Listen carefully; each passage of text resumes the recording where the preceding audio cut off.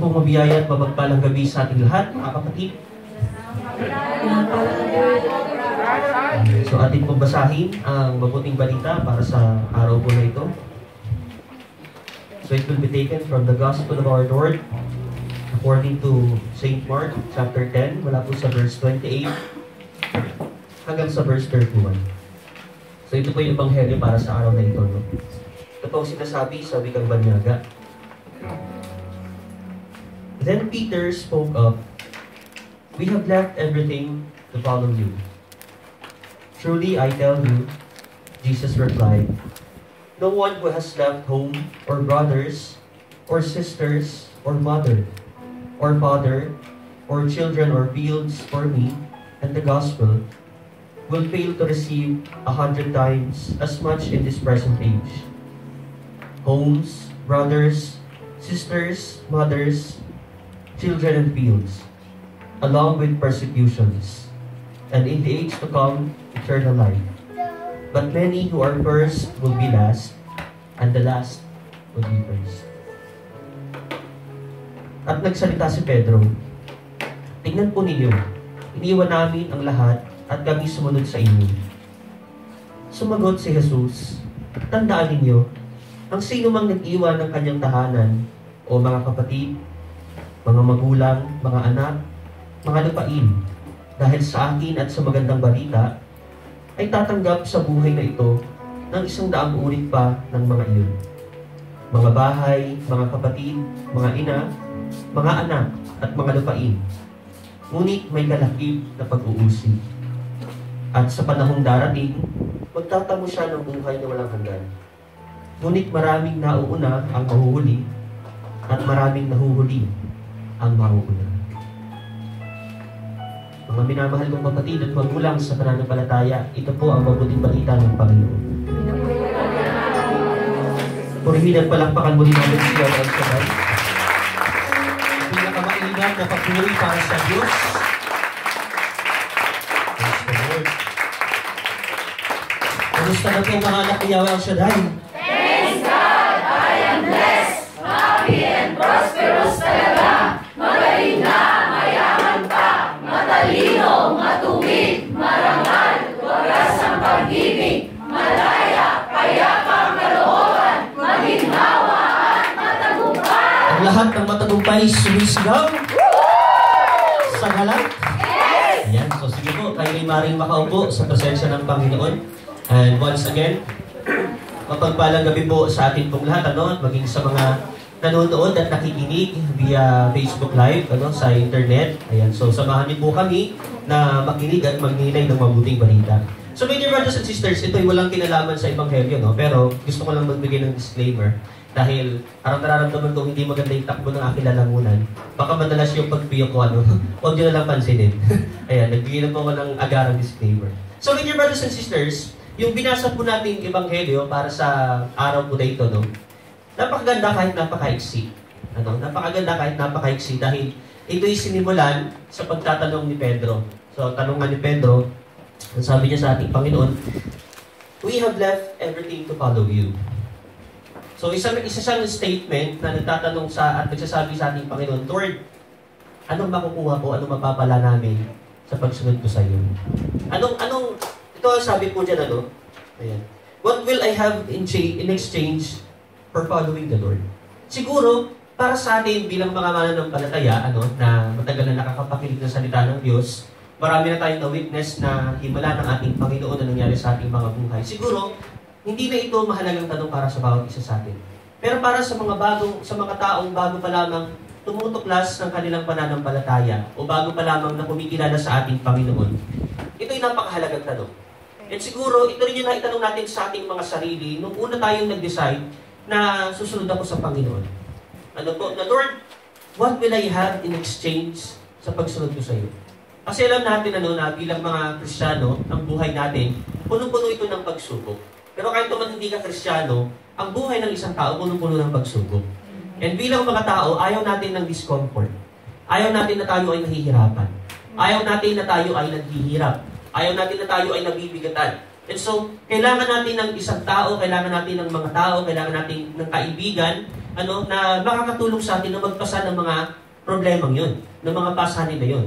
And bilang mga lingkod ng ating Panginoon, isa ito sa mga bagay na inaasahan natin na gagawin ng Diyos sa ating mga buhay. Na whatever burden that we have, tutulungan tayo ng Panginoon na magpasan sa mga bagay na ito. Pero bilang isang Kristiyano po, no, hindi natin maiiwasan na alam natin na sa pagsunod sa Panginoon, maraming persecution. Mas dodoble at mas titindi ang pagsubok. Bakit? Kasi ito ay bahagi ng pagpapatatag sa atin ng ating pong Panginoon. Siguro sa mga modern day Christians, madali nang madali nang sagutin para sa atin itong tanong na to. Na to itong tanong po na ito no na what will I have in exchange for following the Lord? Pero kung iisipin po natin at pagninilayan po natin, napakabigat na tanong na ito para sa mga naging unang alagad. Ang mga naging unang alagad, ano po yung 12 apostles ng ating pong Panginoon, sila ay halos mga norid-noray. Although merong iba sa kanila na professional, may iba sa kanila na tax collector, merong iba sa kanila na literate, o nakakapagbasa, nakakapagsulat, nakikipag-usap sa iba't ibang lingwahe, pero nandun sa kanila yung malaking doubt na ito bang sinusundan naming Mesiyas ay siya nga bang magliligtas sa amin? O siya nga ba yung tinatawag na Diyos ng lahat? Ano? So napakalaking at napakabigat na tanong ito para sa kanila. Lalong-lalo na ano na nasa, nasa kanilang pagsunod sa ating Panginoon, sa ating Panginoong Jesus, iiwan nila yung kanilang hanap buhay. Iiwan nila yung kanilang pamilya. Iiwan nila yung kanilang mga ari-arian. Iiwan nila yung kanilang mga kayamanan. So tanungin mo yung katabi mo, may naipundar ka na ba? May naipundar ka na ba? Ano kaya ang sagot niya? Amen. Hindi tayo makasagot lahat ito. Siguro, hindi naman natin masasabing malaki or maliit, pero somehow, meron tayong naipundar. Yes. Pero ang mahalagang tanong sa atin, mga kapatid ko at magulang, katulad ba ng mga alagad, handa ba natin iwanan yung mga bagay na naipundar natin na yan? Alang-alang sa pagsunod sa Panginoon. Yes, Lord. Siguro kung pag-iisipan natin, ano, bilang mga Kristyano sa panahon na ito, madaling sabihin, yes, Lord. Kaya kong iwanan yan. Pero paano kapag dumating ka na dun sa pagkakataon na nakaharap ka, na pagpipiliin ka, ang pagsunod sa Diyos o kayamanan? Ang pagsunod sa Diyos o ang pamilya? Ang pagsunod sa Diyos o ang pagkakaibigan? Kapatid, bilang mga Kristiyano, ano po, tayo ay binabago ng Diyos araw-araw. Amen. At unti-unti, ipinapakita sa atin ng ating Panginoon ang kanyang banal na kalooban para sa ating mga buhay. Hindi natin agad mali-discover talaga yan. Kasi ang buhay ng isang Kristiyano is an everlasting discovery. Patuloy itong pagtuklas araw-araw. Kasi hindi naman naman makikilala ang Diyos na one time, big time. Ano po, na natulog ka lang, ng gabi, pagising mo sa umaga, kilala mo na agad ang Diyos, alam mo na yung mystery about Him. Wala po. Kahit nga ang mga theologians, sa sampung taon na pag-aaral, 20 years na pag-aaral ng mga Bible scholars, hindi nila maunawaan ang pagka-Diyos ng Panginoon. Kasi nga ito'y misteryo. Yes. Amen po ba? Amen. Ito yung misteryo. So, what more tayo bilang mga ordinaryong tao? Ano po? And so, isa ito sa malaking tanong sa atin kung minsan na, ano bang magigain ko in exchange sa pagsunod ko sa Panginoon? And this is the reality na kailangan nating harapin. Minsan, hindi ka magkakaroon ng magigain, literally, sa pagsunod mo sa Panginoon, kundi maraming mawawala sa iyo. Maraming mawawala sa iyo. Siguro, may mga taong itinuturing mong mahalaga sa iyo na hindi ka mabubuhay nang wala sila. Isa ito sa mga bagay na minsan aalisin ng Diyos kapag nag-decide kang sumunod sa Kanya. Bakit? Siguro itong taong ito, hindi makakatulong sa paglago mo sa buhay pananampalataya. Siguro ang kayamanan na labis mo minamahal, na hindi mo mabitaw-bitawan. Siguro ang, ang miyembro ng pamilya mo, na dahil sa Kanya na isasakripisyo ang pagsunod mo sa Panginoon ng pagkukumit mo sa Kanya. Pero kapatid, magtiwala tayo sa Panginoon. Kasi ang sabi nga niya sa Ebanghelyo na atin pong binasa, no, hindi pa payag ang Diyos na hindi maibalik sa iyo yung mga iniwan mo a hundredfold. Amen po ba? Amen po ba? So harapin mo yung katabi mo. Sabi mo sa kanya, sa pagsunod mo sa Diyos. Ito ang tatandaan mo. Hindi lumilimot ang Diyos. Amen po ba? So ito po yung pagdinilayan po natin ano, sa gabi pong ito. Hindi lumilimot ang Diyos. Ano? God won't forget. Ibig sabihin, kapatid, hindi lumilimot ang Diyos sa lahat ng mga tao nagtitiwala sa Kanya. Sa lahat ng efforts na ginawa natin sa Kanya, hindi nakakalimutan ng Panginoon yun. Siguro kung sa tao, gumawa ka ng sampung tama, makagawa ka lang ng isang mali, makakalimutan yung sampung tama. Yung isang mali lang ang maaalala. At yun ang paulit-ulitin sasabihin sa iyo. Yun ang paulit-ulitin, babanggitin sa iyo every time na nagkakaroon kayo ng pag-aaway. So sabi nga, yung mga may, may asawa minsan, hindi nag hysterical nag historical Lalo din mga asawa babae, bakit? Yung kasalanan 10 years ago, uukatin pa. No? So ganyan tayo bilang mga tao, pero ang Panginoon, hindi siya lumilimot sa mga mabubuting bagay na nagawa natin. Amen. Hindi siya lumilimot sa mga panalangin na nagmumula sa puso. Amen. Kung ang tao hindi lumilimot sa pagkakasala, ang Diyos, kinakalimutan niya yung kasalanan natin. Kasi ang gusto ng Panginoon, bumalik tayo sa Kanya at tanggapin natin yung Kanyang pagmamahal. Hindi siya lumilimot sa mga taong lubos na nagtitiwala sa Kanya. Hindi siya lumilimot sa mga taong buong buhay at buong puso na naglilingkod at sumusunod sa Kanya. Alam po ninyo, no? Sobrang natouch ako sa gospel na ito dahil isa ito sa naging matinding challenge sa akin. Nung ako po ay baguhan pa lamang na naglilingkod sa Panginoon. No, kasi nasa call center company ako, maganda yung aking posisyon, maganda yung aking tungkulin. Sabi ko nga, ayaw kong mag-preacher. Ano, ayaw kong, ayaw kong, ayaw kong maging misyonaryo ng Panginoon kasi mahirap ang buhay.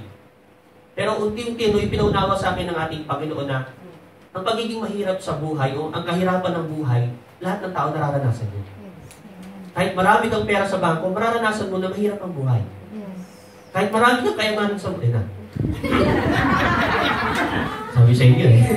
Kahit marami kang kayamanan sa mundo, mararanasan mo na mahirap ang buhay. Kasi ang hirap ng buhay or yung challenge sa buhay natin, ang struggle sa buhay natin, hindi lang sa isang aspeto.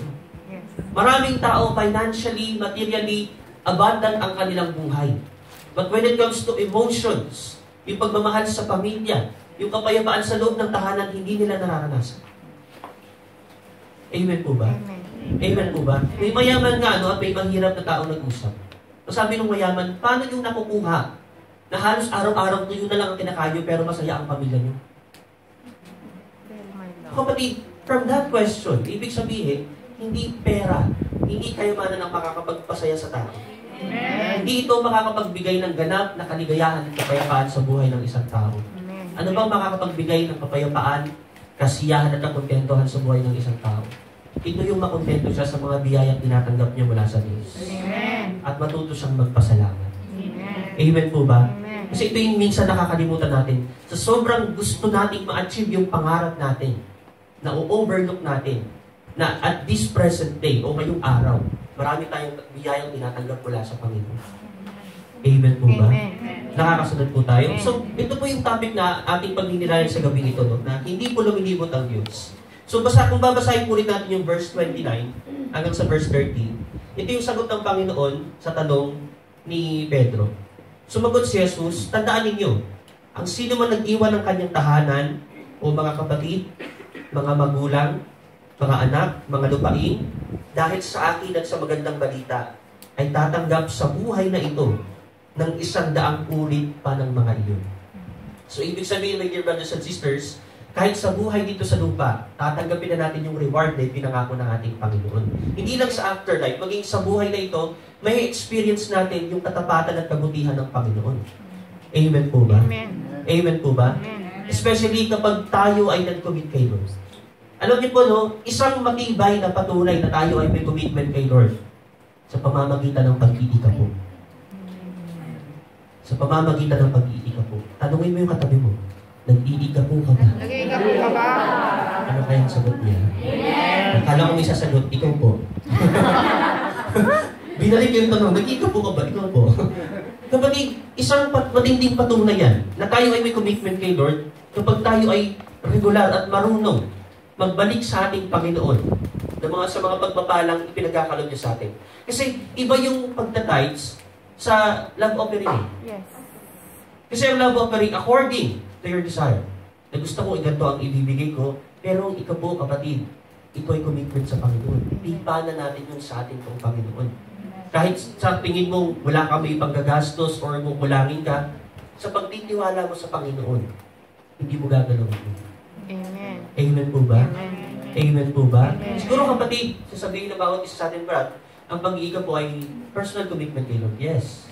That is a personal commitment, kapatid.